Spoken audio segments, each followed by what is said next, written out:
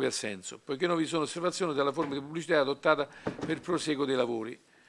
Avverto inoltre che della procedura informativa sarà redatto il resoconto stenografico. La seduta dell'ottava commissione prevede l'audizione nell'ambito dell'indagine conoscitiva in materia di energia prodotta mediante fusione nucleare. È presente il professor Piero Martin, ordinario di fisica sperimentale presso il Dipartimento di Fisica e Astronomia dell'Università di Padova. Ringrazio il nostro ospite e gli cedo la parola. Signor Presidente, signore senatrici e senatori, grazie innanzitutto dell'invito. Allora, la ringrazio, lei mi ha già presentato.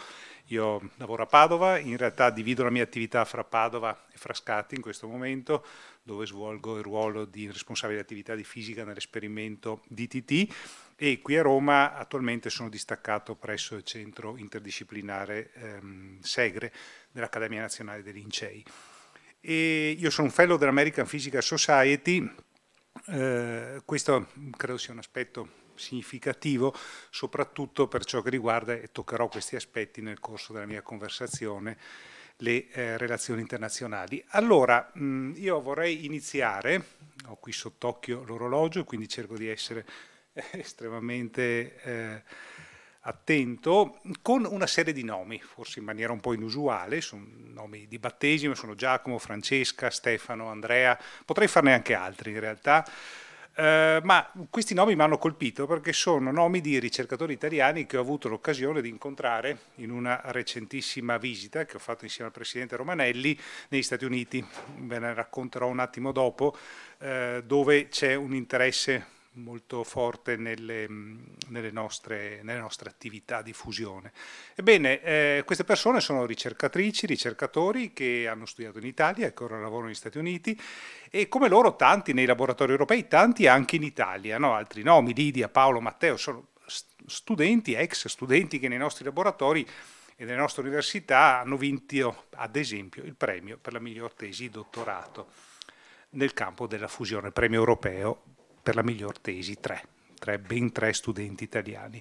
Allora, perché ho, ho deciso di partire da qui? Perché in qualsiasi ragionamento che facciamo, io immagino che le persone siano la nostra più importante risorsa, sia per ciò che riguarda eh, la fusione, ma direi in generale, credo, per l'avvenire di qualsiasi impresa scientifico-tecnologica.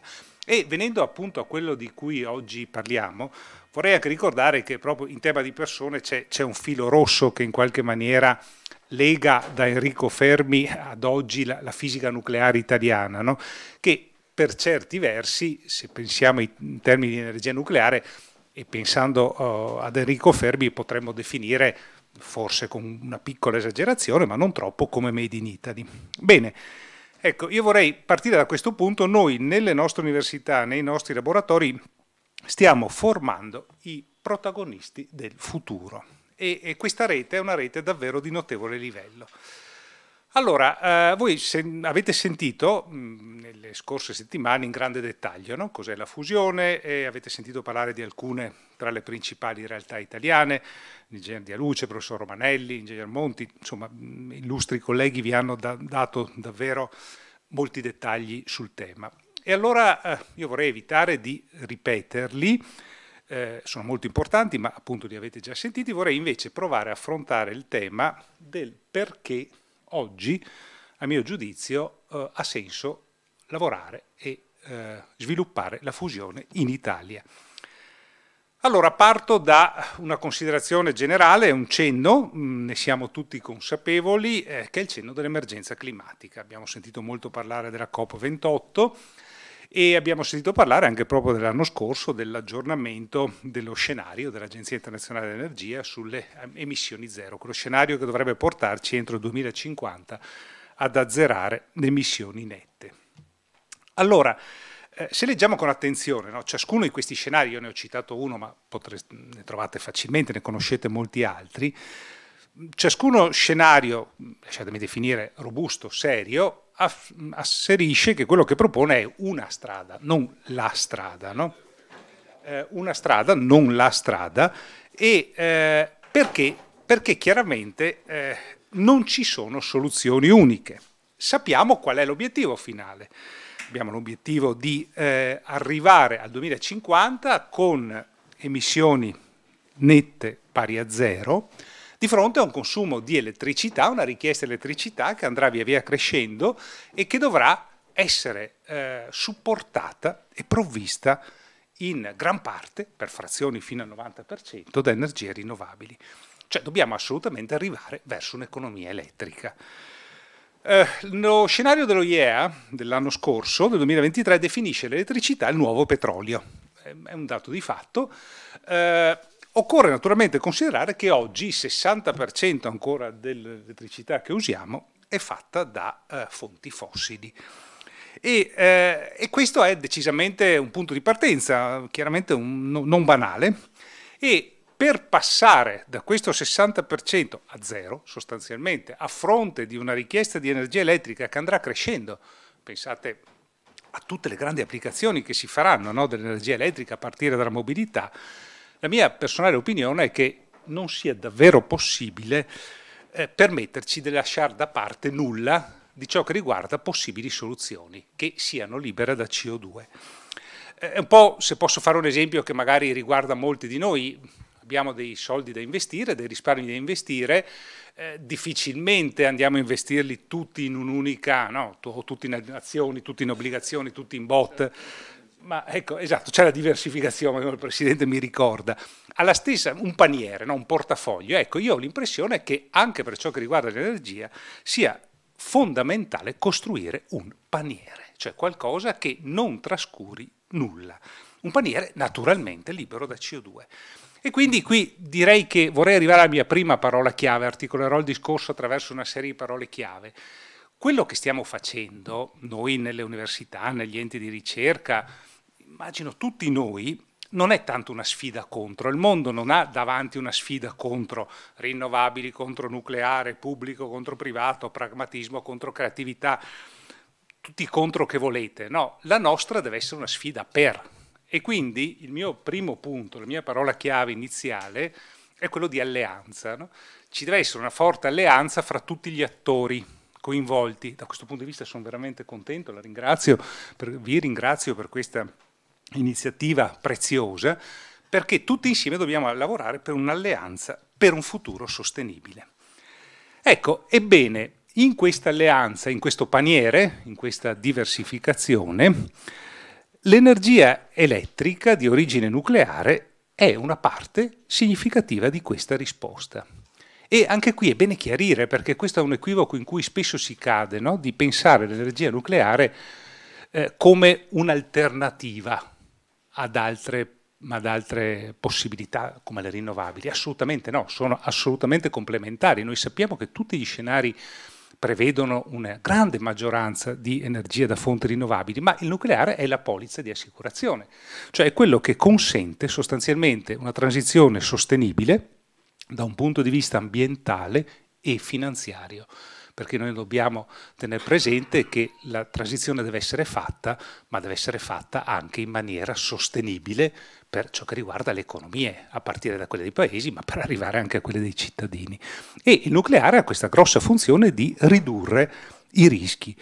All'interno di questo la fusione, di cui oggi parliamo, arrivo al, no, al nostro punto fondamentale, è indispensabile, a mio giudizio, per una transizione energetica che sia allo stesso tempo sicura e sostenibile.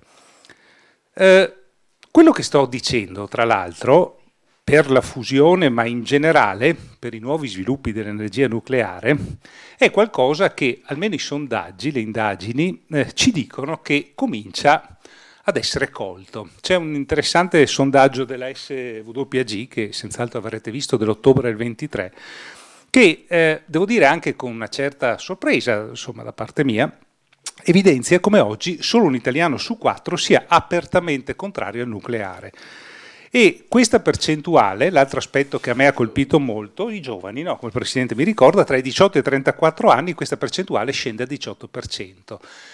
E questo va fatto i conti. Nel 2050 chi oggi ha eh, 18 anni ne avrà 45, 46, cioè sarà nel pieno della sua vita. Quindi sono le persone che andranno davvero a vivere quello di cui oggi stiamo parlando.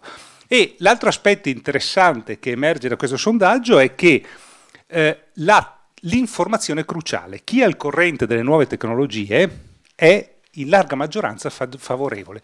Un aspetto fondamentale sul quale non nego anche la mia comunità, spesso è stata carente in passato e sulla quale stiamo lavorando, è quello della trasparenza, della conoscenza, dell'informazione, della divulgazione. Ancora una volta vi ringrazio per l'occasione che ci date. Quindi la fusione rientra all'interno, all'interno secondo me, di un percorso di lungimiranza, no? di un'altra parola chiave fondamentale, che ci permette di eh, immaginare quale sarà il futuro, eh, della, eh, il futuro della, diciamo, delle nostre scelte energetiche. Sì, sì, sì, adesso... Eh, allora, eh, no, no, ma sono, sarò abbastanza sintetico e vorrei poi eh, soprattutto, mi auguro, rispondere alle vostre domande. Eh, allora, finora ho posto l'accenno sul fatto di quanto, parlando anche della COP, no, la transizione energetica sia una questione ambientale, ma naturalmente eh, sfondo una porta aperta ricordando che oggi in realtà è una enorme questione strategica. La guerra in Ucraina è purtroppo lì a ricordarcelo quotidianamente e anche ciò che succede in, altre, in altri settori del mondo, sempre legato all'energia, è una questione economica, finanziaria. Pensate a cosa vuol dire, soprattutto verso i paesi in via di sviluppo, verso i mercati asiatici, la transizione ecologica, un passaggio all'elettrificazione molto forte. Sono opportunità enormi per chi dispone della conoscenza. E poi lasciatemi aggiungere un tema che mi sta a cuore, è anche una questione di giustizia, il termine di giustizia, di etica nel uh, tema della transizione energetica sta emergendo fortemente in molti ambienti. Eh, sapete che ci sono circa 800 milioni di persone che ancora non dispongono di energia elettrica e se volete oltre a qualsiasi questione, importantissima questione etica, anche questo si ripercuote su questioni strategiche. Pensiamo anche al grande tema delle migrazioni e comunque al tema della, di quanto la, la, carenza di energia può significare poi verso, l'Europa in questo caso. Bene, la fusione ancora una volta è parte di questa risposta ha una grande tradizione di collaborazione internazionale, ha una, potenzialità di combustibili diffusa, è estremamente sicura, ne avete sentito molto parlare appunto dai miei illustri predecessori e soprattutto, come ha specificato bene il professor Romanelli la settimana scorsa, è giunta ormai a un elevato livello di maturità. Abbiamo le teorie che confermano i risultati che noi otteniamo, abbiamo soluzioni che, come Romanelli ha citato, magari non sono perfette, ma ci sono, e siamo entrati, direi, in una fase di approccio di soluzioni industriali. Naturalmente sempre accompagnate da un'intensa attività di ricerca, ma come lui ricordava, siamo nelle condizioni, se ci sono le condizioni, se costruiamo le condizioni, di intraprendere la costruzione di un impianto dimostrativo di potenza.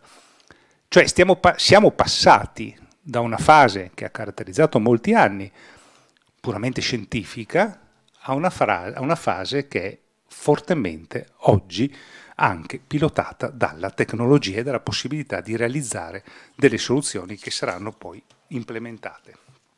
E d'altra parte, io sono solo, come dire, un modesto portavoce di quanto sta accadendo nel mondo, perché un altro aspetto fondamentale che dicevo anche Presidente nella mia presentazione, nella presentazione di me stesso, no?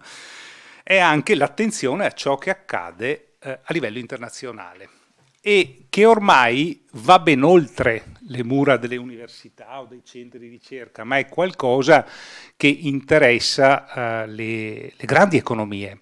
Non occorre che citi ad esempio le recenti dichiarazioni del, dell'inviato Kerry degli Stati Uniti, ma soprattutto eh, l'iniziativa dell'amministrazione Biden-Harris che ha lanciato nel 2022 questa Bold Decadal Vision per to accelerate fusion, per accelerare la fusione.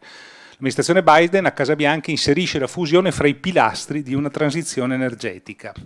Negli Stati Uniti sono stati investiti negli ultimi due anni oltre 6 miliardi di investimenti privati, cioè di soldi che non escono dal bilancio federale ma dai privati, giusto per, far, per darvi un'idea, perché 6 miliardi ovviamente possono essere tanti, pochi a seconda di cosa li si paragona, ma il bilancio federale degli Stati Uniti non credo superi il miliardo all'anno, insomma, ecco, giusto per capirci i dollari. Eh, poi abbiamo la Cina, un altro, facciamo un salto un altro grande attore, no? la Cina che sostiene con convinzione ITER, il programma internazionale, di cui vi parlerò brevemente dopo, ma che in parallelo sta sviluppando un forte programma nazionale. E anche questo è molto interessante, credo, dal punto di vista geopolitico, perché questo doppio percorso parallelo di una grande potenza come la Cina, che da un lato lavora con noi, ma dall'altro, le economie occidentali, si sta sviluppando il suo reattore dimostrativo da un gigawatt e mezzo, sta sviluppando una sorta di cittadella della scienza della fusione, eh, che si chiama Comprehensive Research Facility for Fusion Technology, cioè sta davvero investendo in maniera assai significativa. E, eh, e poi, eh, arrivando in Europa, eh, l'Inghilterra, Gran Bretagna, che ha lanciato questo programma STEP con la sua agenzia, mh, mm, con la sua agenzia che porta un fortissimo coinvolgimento dell'industria. Eh, che nasce naturalmente anche a seguito della Brexit o in parallelo alla Brexit, ma che oggi ha assunto una rilevanza a livello europeo davvero importante. Poi vorrei citare un ultimo esempio, perché da qui mi collegherò poi al nostro caso italiano, perché secondo me è significativo. Eh, la Germania, nel corso dello scorso anno, insieme alla Francia, ha lanciato questa nuova iniziativa industriale che si chiama Gauss, Gauss Fusion, trovate il sito facilmente, eh, è una, appunto un'iniziativa industriale che se voi aprite il sito web ha come dichiarazione di intenti principali di leading European industries to build fusion power plants, cioè di condurre l'industria, di accompagnare l'industria europea a costruire la, eh, impianti di potenza di fusione.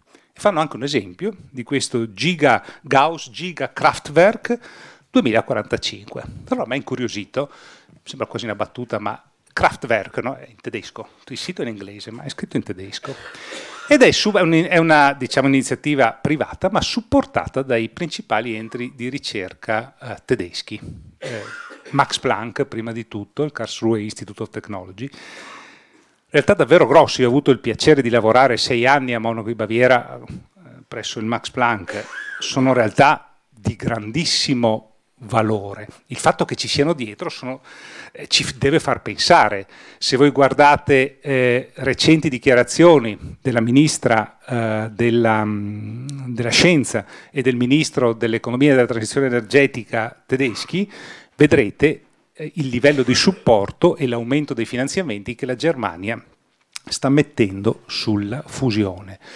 Ma l'aspetto che secondo me è estremamente importante è questa, questa dichiarazione, Leading European Industries, cioè la Germania sta, si è autodata una, come dire, una patente di guida a livello europeo. Peccato però che l'industria sia soprattutto italiana oggi della fusione. Peccato che in Italia stiamo costruendo uno dei più grandi esperimenti al mondo di cui avete sentito dal professor Romanelli, DTT. Peccato che in Italia ci sia il più grande laboratorio di ITER dopo ITER stesso a Padova. Cioè in Italia abbiamo una realtà di scienza, di tecnologia e di industria, Eni ad esempio, che è unica.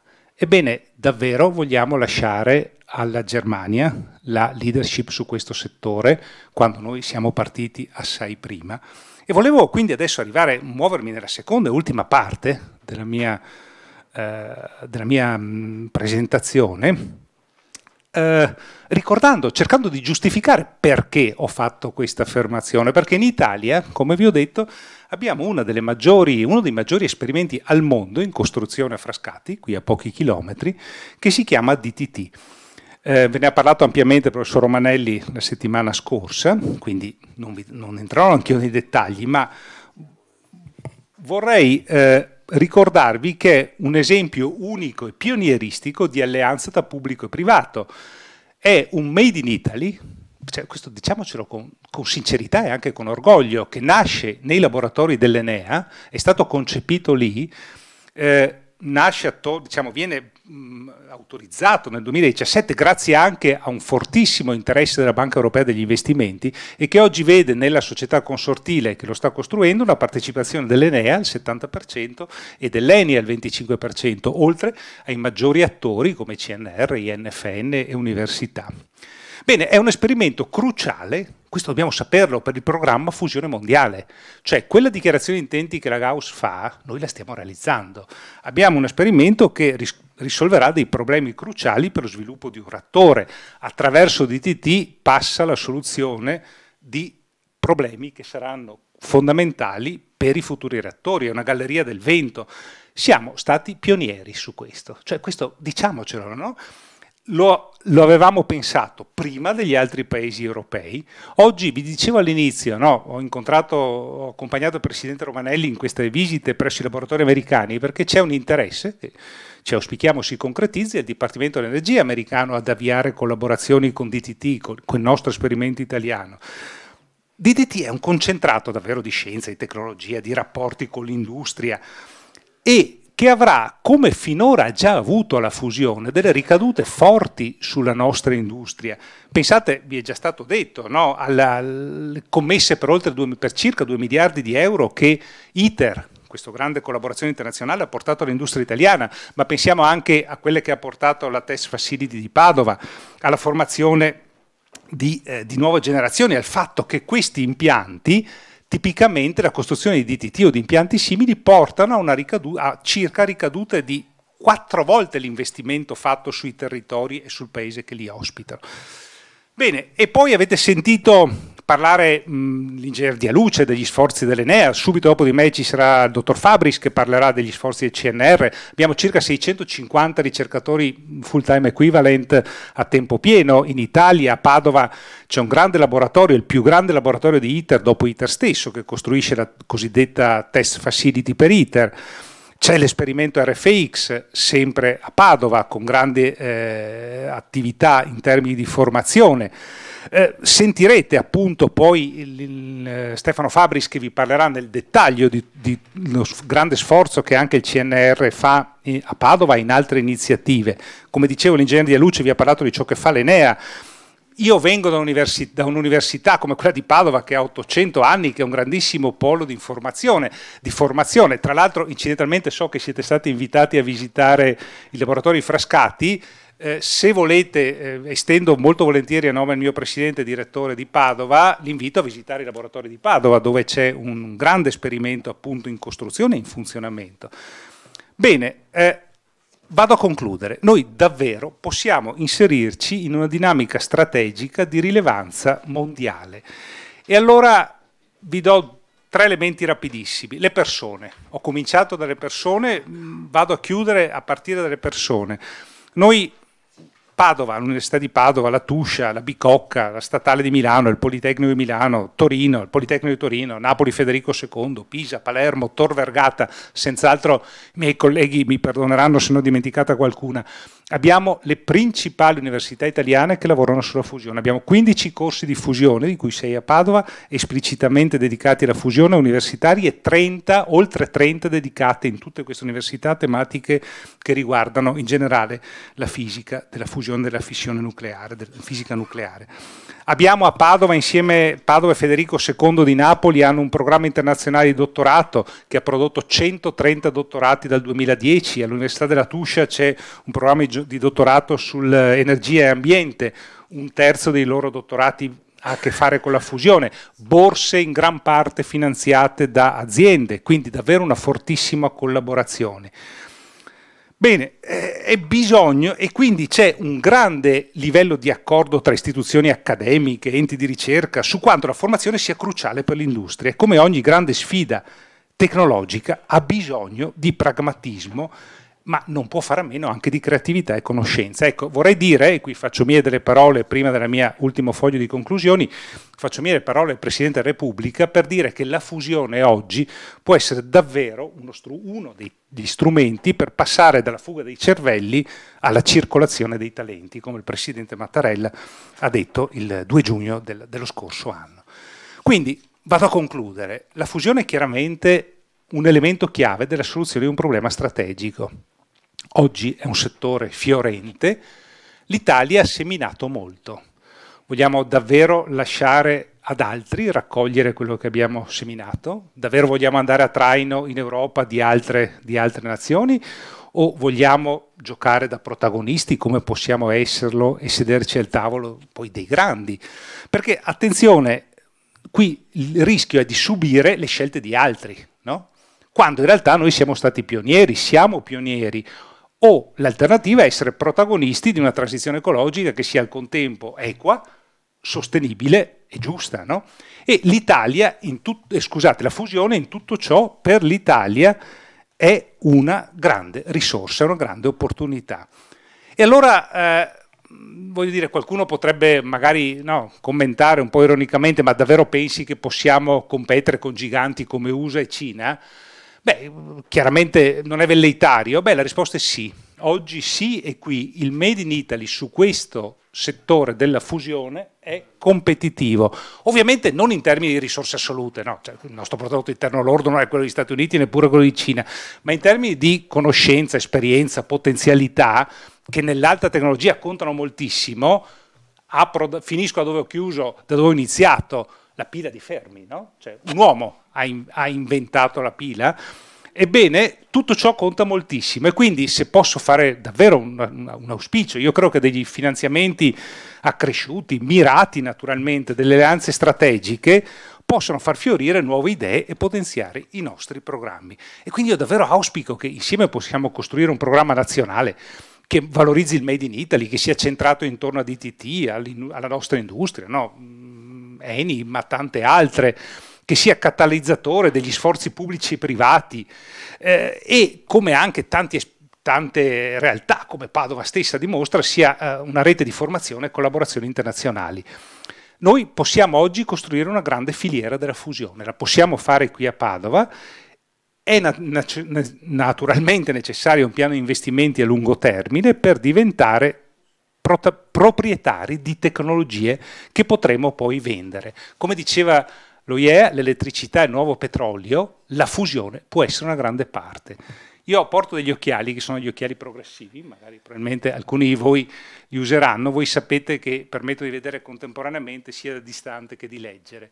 Ebbene, vorrei che sia chiaro che quanto detto non è un qualcosa che va alle calende greche, no? al 2100, al 2050, al 2030, è qualcosa che certo ha un traguardo molto, ha un traguardo, come dicevo, quello della net zero del 2050, ma è qualcosa che ha un impatto oggi, delle scelte forti sulla fusione, hanno impatto sull'economia oggi, sul lavoro oggi, sulla formazione oggi, sulla crescita no? di, di, giovani, di artigiani, di, della nostra industria.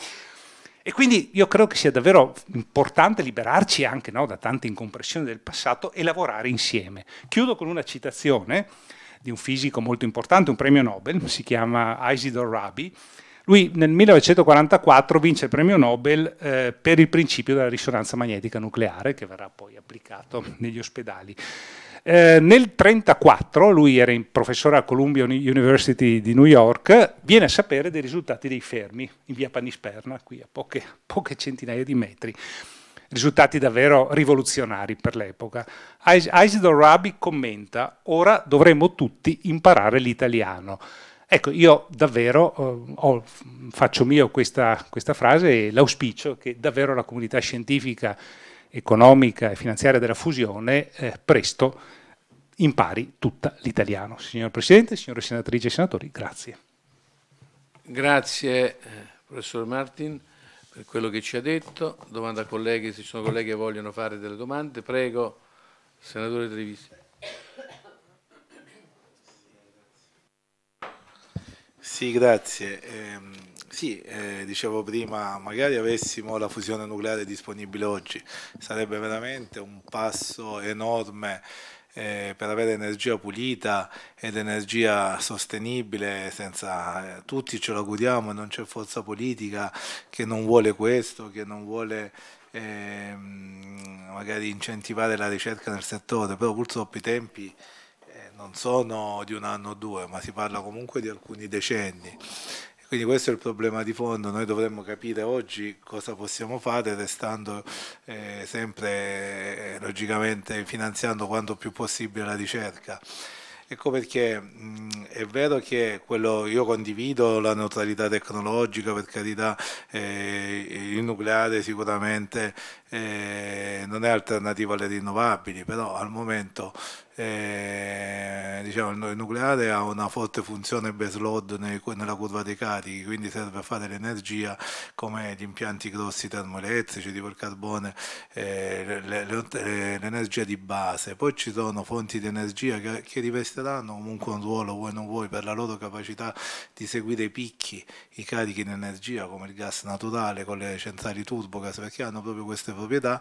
Poi serviranno gli accumuli di vari tipi, ma servirà soprattutto oggi un massiccio investimento verso le fonti rinnovabili, che è l'unica tecnologia, nonché al momento la più competitiva dal punto di vista economico, perché è più competitiva delle rinnovabili economicamente non ne abbiamo, e poi si dovrà trovare il modo per rendere questa energia da non programmabile a programmabile con, potenziando gli accumuli.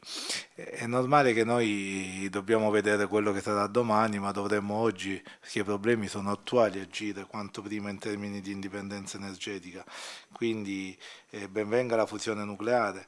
Diversa la fissione, ma non perché si è contrari alla fissione nucleare, però avete visto tutti che eh, quando si è aperto questo bando per il deposito nucleare non c'è comune che, che, che ha voluto ospitarlo, non c'è stata una grande... C'è, andato, c'è stato un comune, chi è stato? Ah, vabbè, a parte Trino. Si è ritirato? Vabbè, c'era un comune dove aveva già un, sì, un, un impianto, vabbè, sono anche delle constatazioni che poi portano alla domanda, quindi il quadro attuale è questo, ecco perché io che credo che è giusto pensare al sistema energetico del futuro, però dovremmo anche capire oggi come muoverci, io credo che è imprescindibile un massiccio finanziamento, servirebbe secondo me un nuovo PNRR europeo a favore della transizione energetica perché eh, come l'Europa chiede degli obiettivi nuovi anche l'Europa si deve far carico di, eh, di Eurobond per finanziare questa nuova eh, impellente urgenza, secondo me è così, quindi io credo che oggi non c'è strada alternativa eh, benvenga la fusione quando sarà pronta, però l'unica soluzione credo che sia investire massicciamente sulle rinnovabili. Penso che lei anche lo condivida come pensiero. Grazie, io credo che però è giusto questo, siamo qui per capire, dibattere bene e comprendere bene che cos'è la fusione, siamo tutti convinti che nell'immediato dobbiamo lavorare no, per migliorare sempre di più quelle che sono rinnovabili, che in tutti i casi anche nel futuro dovranno coesistere perché verranno migliorate insieme a un'eventuale realizzazione di una fusione, ma siamo qui a parlare di fusione proprio per cercare di capire bene che cosa è la fusione e poter da parte nostra spingere anche eventualmente il nostro Paese a far sì che l'orgoglio che ce ne ha parlato qui il professor Martin, che è italiano rispetto a questo, possa avere la possibilità di fare qualcosa anche in questo Paese e essere noi attori principali non inseguire altri su studi che fatto, no, questo, sono stati fatti in questo paese, un po' questo è il tema. Il tema è importante, ma non parliamo di quello che dobbiamo fare, quello che dobbiamo fare lo sappiamo. C'è, c'è eh, la situazione attuale che la stiamo vivendo in maniera diversa e che dovrebbe essere sempre migliorata, ma dobbiamo anche sapere organizzare il futuro. Se il futuro noi non lo organizziamo attraverso una conoscenza dei problemi e attraverso anche interventi legislativi che favoriscono questi processi, noi non ci arriveremo a questi processi e staremo dietro agli altri. Questo è un po' il tema nostro, ma parliamo di fusione. Prego, prego professore. Grazie, grazie, ringrazio. Ringrazio, ringrazio, per il suo intervento. Allora, io volevo mh, tornare un attimo all'analogia un po' scherzosa, ma in realtà molto seria, che ho fatto degli occhiali. No? Lei eh, ha certamente ragione a dire che dobbiamo vedere oggi e anche domani, cioè il punto che io volevo fare era esattamente questo. Noi abbiamo bisogno di soluzioni che traguardino il 2050 e che siano già oggi efficaci. Ebbene, mi è chiaro ovviamente che la fusione non è disponibile oggi, no? ma mi è altrettanto chiaro che la fusione può diventare un grande protagonista nel medio termine. E allora, così come eh, dicevo prima, la fusione ha questo, a mio giudizio, grande vantaggio di permetterci oggi di guardare sia a medio termine sia a breve termine, perché investire oggi sulla fusione vuol dire investire su tecnologie, vuol dire investire su industria, vuol dire, lasciatemi usare una parola, investire sul Made in Italy in senso ampio, industriale, formativo, scientifico, che ha ricadute oggi oggi, non fra 20 anni o 30 anni. Questo secondo me è davvero importante e che ci porta ad avere in portafoglio poi anche, come anche il Presidente diceva, la possibilità di disporre, di costruire da oggi delle tecnologie che un domani il nostro Paese potrà in senso lato vendere, no? Dopo, che è fondamentale. E da questo punto di vista, secondo me, è altrettanto importante anche perché lei ha usato il termine indipendenza energetica, ma a mio modesto parere pensare a un'indipendenza energetica nazionale è molto complicato perché ormai le reti sono estremamente interconnesse. Noi credo dovremmo ragionare almeno come Europa, cioè come, come protagonisti europei, entrare in un mercato globale. Da questo punto di vista credo che la fusione possa eh, aiutare e di nuovo vorrei ancora una volta dire che eh, credo che nessuno nella nostra comunità sia contro. Io davvero vi invito, invito tutti a lavorare insieme per non c'è uno contro l'altro, abbiamo tutti chiari le scadenze temporali, sappiamo cosa viene prima e cosa viene dopo, ma dopo il 2050 ci sarà il 2051, il 2052, abbiamo il dovere di pensare anche a chi sarà in quegli anni. Grazie, ringraziamo il professore Martin per quello che ci ha esposto e quindi lo concediamo e noi ci dedichiamo alla nostra seduta.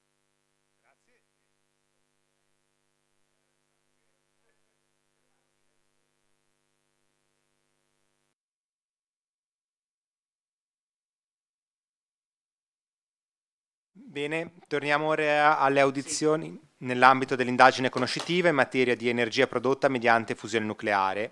Per il Consiglio nazionale delle ricerche è presente il dottor Stefano Fabris, direttore del Dipartimento di Scienze Fisiche e Tecnologie della Materia. Ringrazio il nostro ospite e gli cedo subito la parola, prego. Okay. Buongiorno a tutti e grazie Presidente per l'invito a relazionare a questa, a questa, a questa assemblea, a questa commissione. Eh, il Consiglio nazionale delle ricerche è, come sapete, il più grande ente pubblico di ricerca del Paese e ha dire, una consolidata tradizione nel settore della fusione nucleare, eh, contribuisce con attività di ricerca scientifica e ricerca tecnologica, eh, attività che si svolgono principalmente nell'ambito del Dipartimento Scienze Fisiche e Tecnologie della Materia che ho l'onore di dirigere. Allora vorrei iniziare questa relazione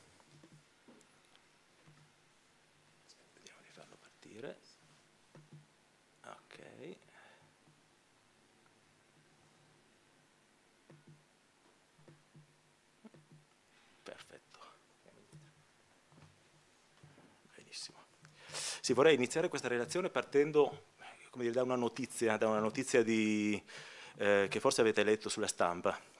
Eh, a fine ottobre dello scorso anno è stato raggiunto il nuovo record mondiale di energia prodotta da una reazione di fusione nucleare. Allora, questo è stato fatto durante una campagna sperimentale svolta presso l'infrastruttura eh, europea denominata JET, Joint European Torus. E questo, questo esperimento, questo record, ha dimostrato definitivamente le potenzialità dell'utilizzo del combustibile deuterio-trizio. Perché è importante? È importante perché questa miscela è la miscela di combustibile che è alla base del funzionamento delle future macchine. Eh, ITER in particolare, ma anche della, della macchina che si costruirà dopo ITER, denominata DEMO, e l'obiettivo di Demo è proprio la dimostrazione scientifica e tecnologica della fusione come fonte di energia pulita, sicura e diciamo virtualmente eh, inesauribile. Allora, eh, quello che volevo osservare in questa mm, introduzione è che questo campo, questo panorama internazionale sta evolvendo molto rapidamente. Eh, il settore della fusione ha recentemente registrato un'accelerazione non solo grazie al raggiungimento di questi obiettivi, come il record di cui ho parlato eh, poc'anzi, ma, eh, ma anche grazie all'impulso che viene da nuovi attori, sia privati che pubblici, che manifestano un forte interesse anche di natura commerciale in questo settore. Allora, come, come si posiziona l'Italia in questo settore?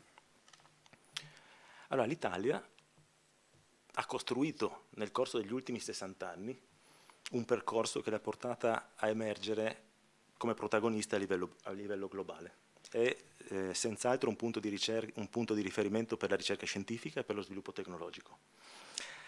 Allora, questa posizione di, eh, di, leadership, come dicevo, è stata raggiunta proprio grazie a una pluridecennale collaborazione nell'ambito della ricerca pubblica tra gli enti pubblici di ricerca, naturalmente CNR, ma ovviamente l'Enea, i suoi partner principali, Enea, INFN, e a una mh, costellazione di accademia, di università, ehm, eh, eh, università italiane, l'Università degli Studi di Padova, l'Università di Bicocca, Federico II, solo per citarne alcune che sono più vicine mh, al, al, CNR, ma, ma diciamo come dire, c'è proprio un ecosistema di ricerca pubblica.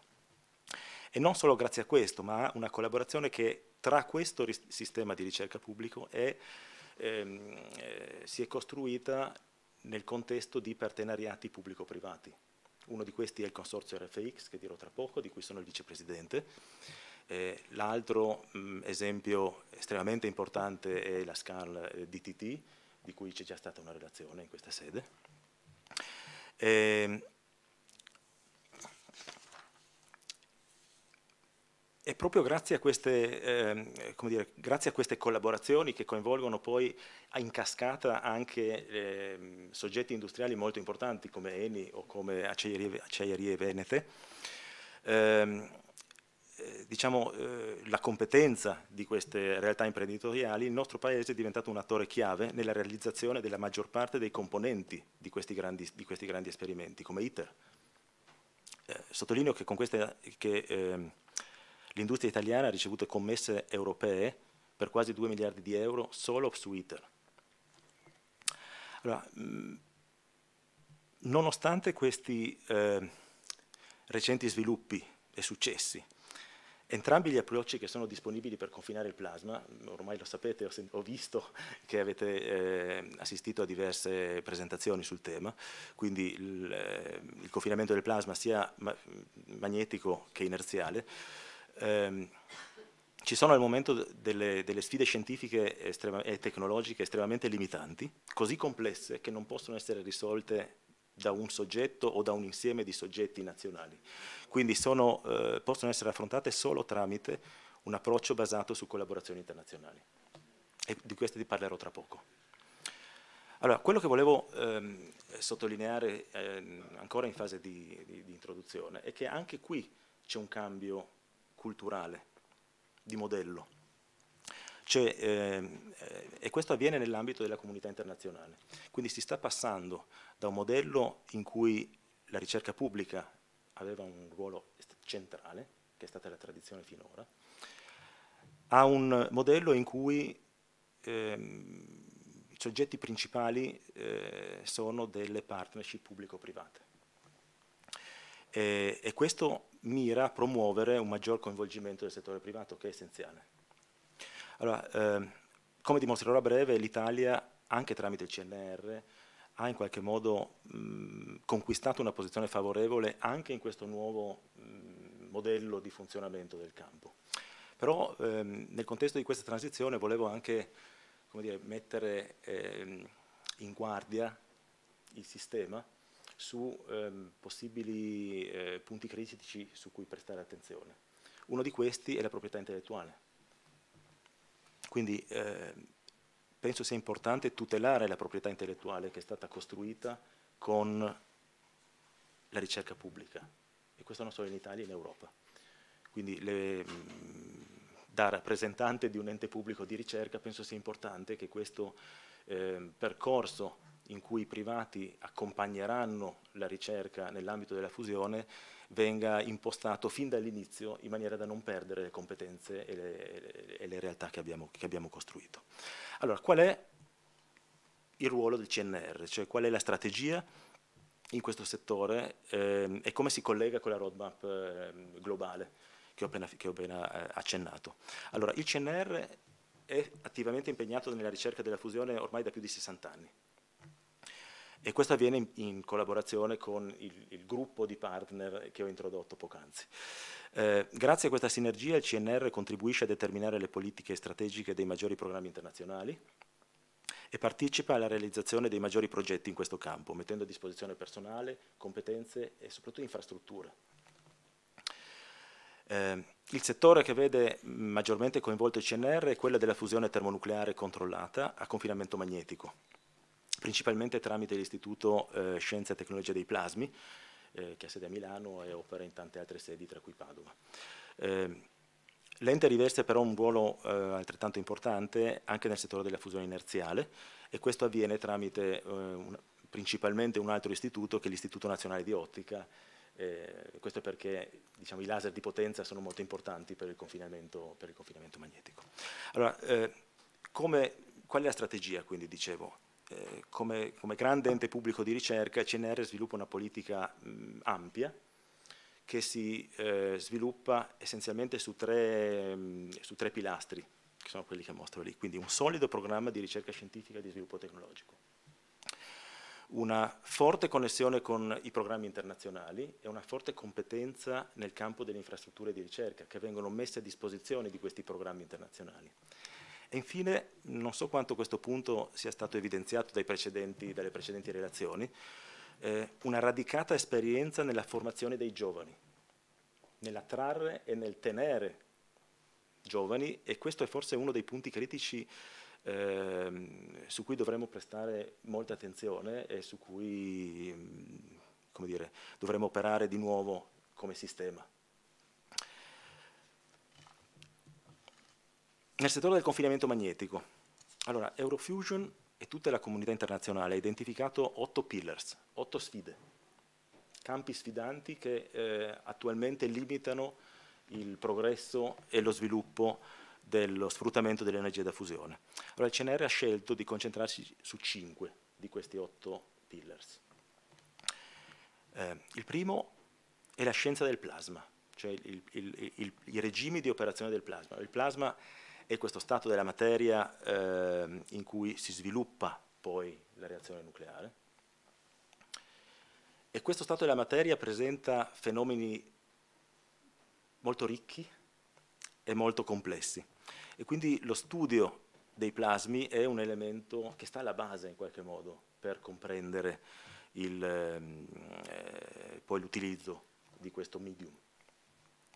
Ed è uno dei temi principali delle ricerche del CNR. Studiamo in questo contesto diversi processi fisici che si verificano nei plasmi, nei plasmi applicati al tokamak, che è questa geometria di confinamento, l'interazione dei plasmi con la radiazione elettromagnetica, il controllo dei plasmi nel, nel confinamento toroidale, eh, si è esperti, c'è esperienza nel campo della fisica e dell'ingegneria delle macchine proprio per costruire detector o, o, o sistemi che poi eh, riscaldano il plasma oppure lo, lo, lo mantengono nelle condizioni operative ma anche in tutto quanto riguarda la, ehm, dire, la realizzazione degli impianti per la diagnostica.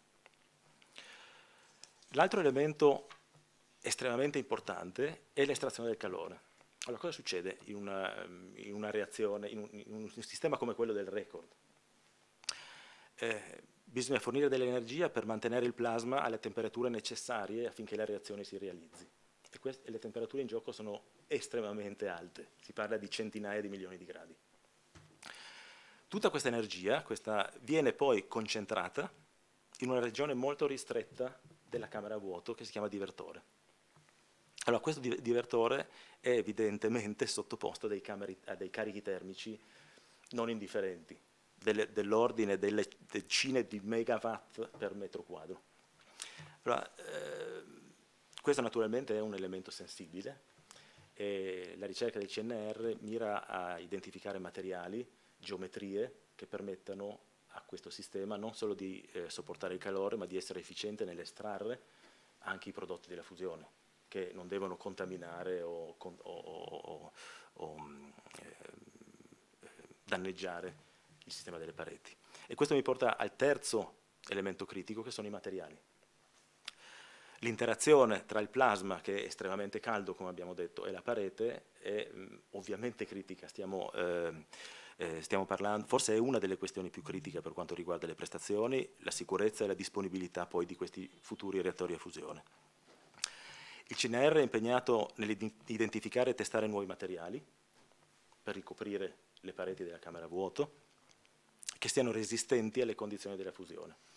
Ehm, nuovi acciai, mm, nuovi materiali a base di tungsteno, tutte cose che bisogna in qualche modo eh, testare e eh, sintetizzare e provare in condizioni operative. Eh, fenomeni che eh, prendiamo in considerazione in questo contesto sono l'erosione, l'interazione della polvere di reazione con i materiali esposti al plasma, l'erosione, la diffusione superficiali, tutto un set di chimica fisica diciamo, delle superfici, ma anche la ritenzione del combustibile che poi circola nel, nel plasma e la resistenza ai neutroni che si sviluppano durante la, la reazione. Eh, gli altri due dire, sono, mm, riguardano più il futuro, il primo è una partecipazione molto attiva alla progettazione del, del reattore prototipo demo, quello che fornirà diciamo, la dimostrazione che è possibile ehm, eh, generare energia elettrica e eh, indagini socio-economiche sulla produzione di energia elettrica, anche con eh, ruoli di coordinamento sulla transizione che sarà necessario governare di costi di energia elettrica da un sistema tradizionale a un sistema diciamo, ehm, che ha eliminato completamente le, le, energie fossili, anche sulla base di modelli. Allora vorrei anche evidenziare l'importanza di una tematica che è trasversale, che è eh, importante su tutti questi aspetti che è la simulazione e la modellizzazione.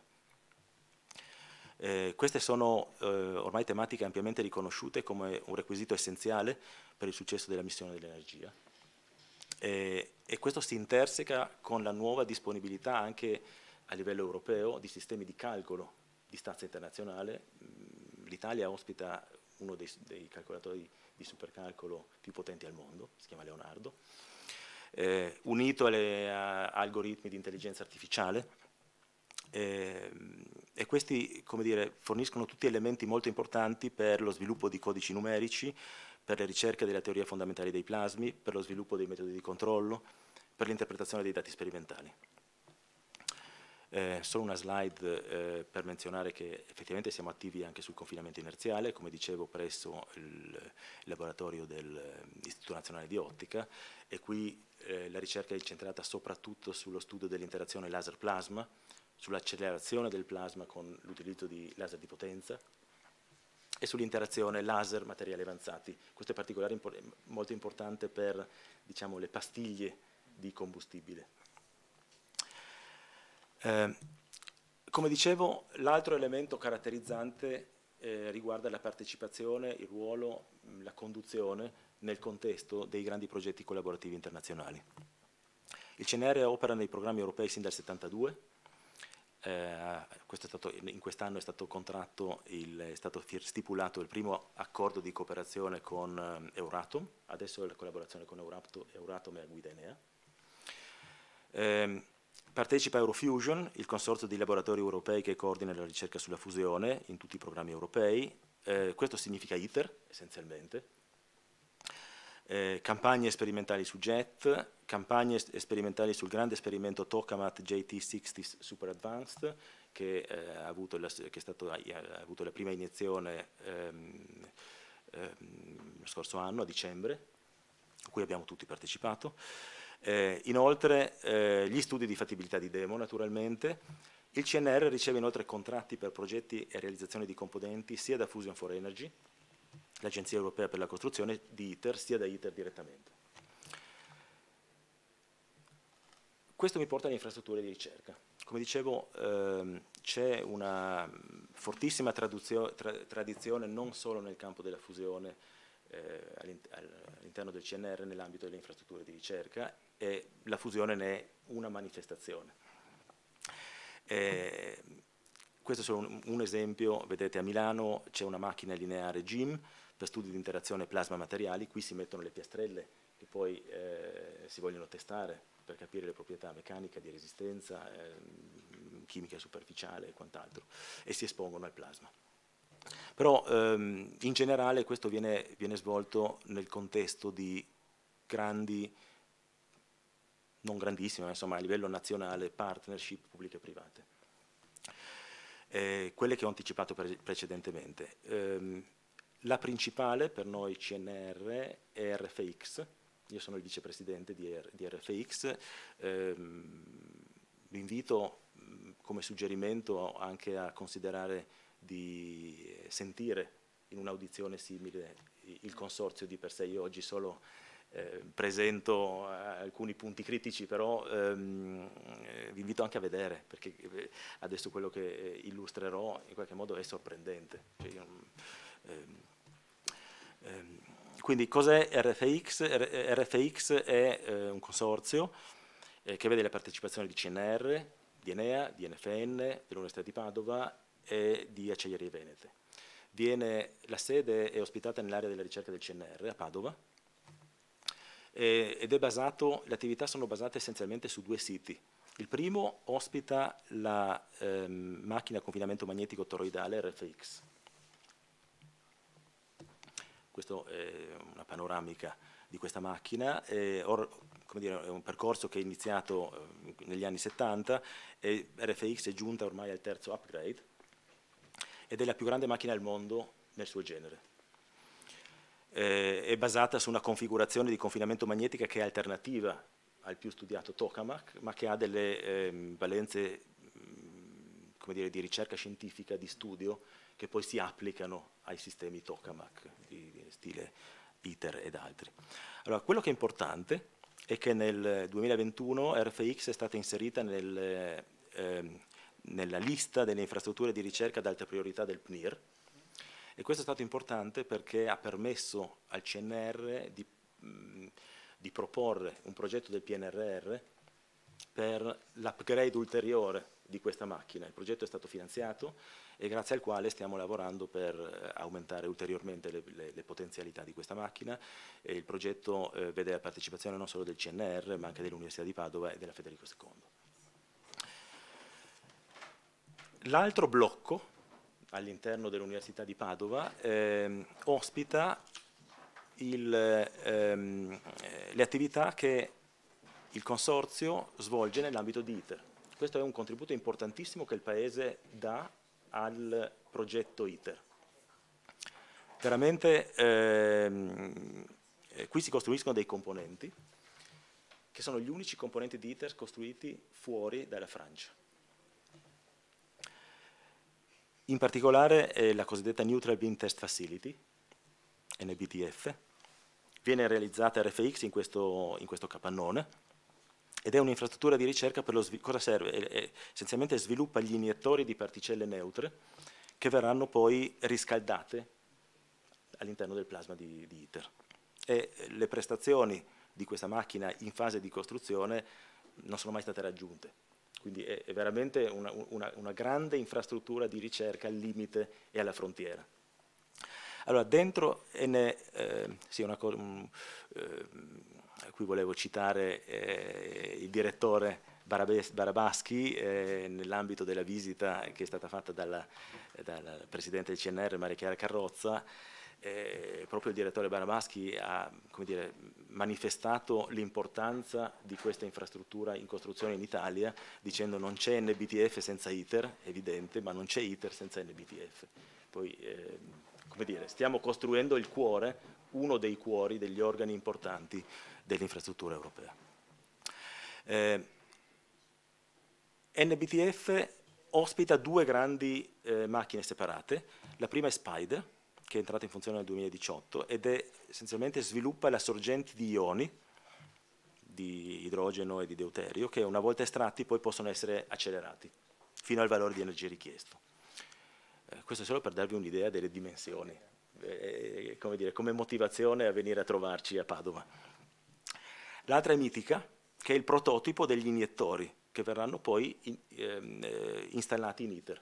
Se funziona, la stessa macchina viene riprodotta e ricostruita su ITER e, quel, e questa viene tenuta in Italia per mh, mm, testing, eh, per, eh, diciamo, invece del gemello digitale c'è il, il, gemello fisico.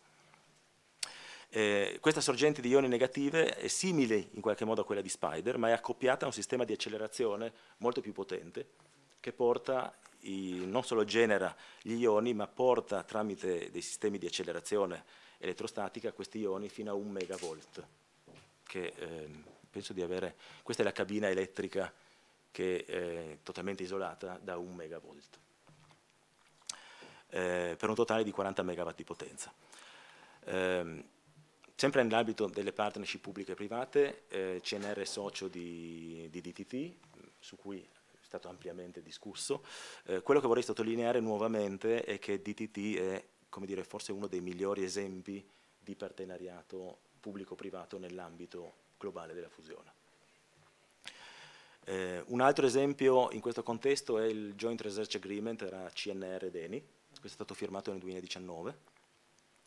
Eh, l'accordo prevede la costituzione di un centro di ricerche dedicato ENI-CNR nel sito di Gela. Infine, eh, torno sul punto della formazione.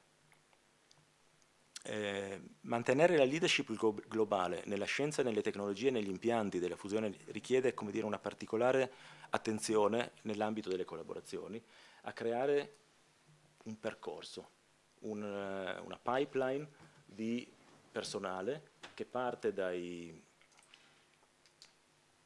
dai tesisti, passa dai dottorandi di ricerca, passa ai ricercatori postdoc, passa eh, poi ai, ai, ricercatori, ma include anche tecnici. Cioè, tutte queste grandi eh, sfide richiedono personale, richiedono personale formato. E questo è, eh, dire, è, un, è, un, punto su cui l'Italia dovrebbe fare un, un discorso molto, molto specifico. E in questo contesto il CNR ha sviluppato solite competenze in ambito sperimentale, teorico e numerico e eh, c'è una forte tradizione di ospitare studenti, ricercatori e poi reclutare mh, personale giovane che poi viene formato all'interno dei laboratori. Eh, volevo far notare che i percorsi di postdottorato, di dottorato eh, sono fondamentali, a Padova c'è stato il primo ehm, percorso di dottorato dedicato agli studi della fusione. Quindi ehm, io concludo questo intervento ehm, mostrando nuovamente l'area della ricerca del CNR a Padova. Eh, è un'esperienza importante vedere di persona questi strumenti perché eh, fa capire quanto l'Italia sia all'avanguardia e sia eh, protagonista in questa grande sfida che è la fusione nucleare. Grazie.